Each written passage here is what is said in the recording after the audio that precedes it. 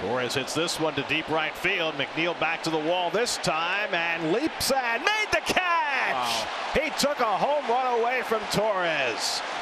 Second time Gleyber took aim at the short porch. Second time denied by McNeil.